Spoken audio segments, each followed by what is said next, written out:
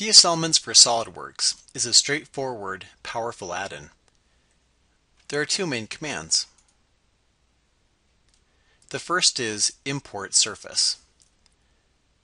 This command lets you import a T-spline or a subdivision surface OBJ mesh into SOLIDWORKS.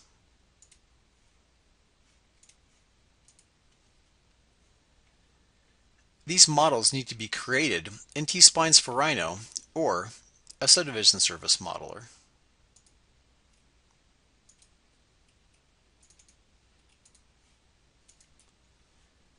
Examples of subdivision surface modelers include Modo, Lightwave, and Maya. Currently, there is no way to create a T-spline model inside SOLIDWORKS.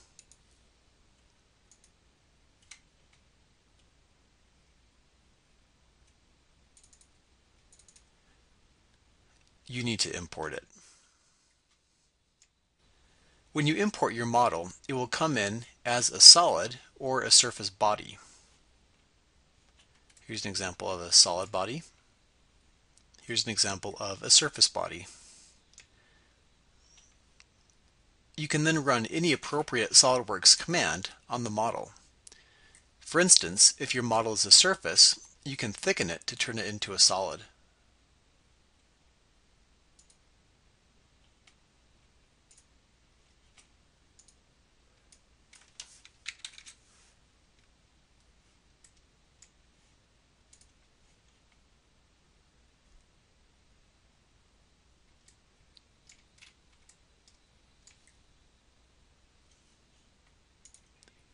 The second main command in TS Elements for SOLIDWORKS is Edit Feature on your imported model.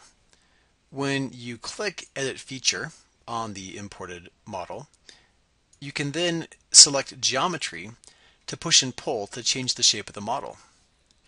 This can be useful if you are iterating and want to do something like change the slope or contours of, say, the stadium seat can select faces and using the triad um, you can change the orientation of the triad to view mode, UVN mode or world orientation. We'll go to world and just move those faces and you can see the rest of the surface responds and updates and stays curvature continuous.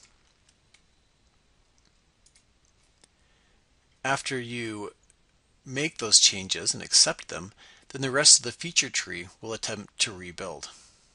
You can see in this case most of my features rebuilt, but the one of the fillets was unable to be rebuilt because I moved the surface too far. So I can either change my fillet or come back in to my model and tweak the various parts of my model to make them the right size. Some of the other features inside TS Elements for SOLIDWORKS includes the recognition of symmetry if it existed in your T-spline file. So you can see with this green line, now if I select faces or edges on one part of my model, it will update on both sides. You can also change the uh, manipulator type.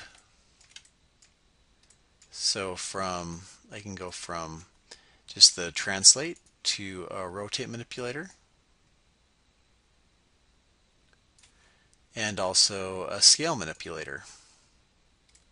So I can, for example, scale this to make it thicker and bigger. You can also switch in the T-spline to go from smooth mode to a, a, box mesh mode, which helps you look at the topology better.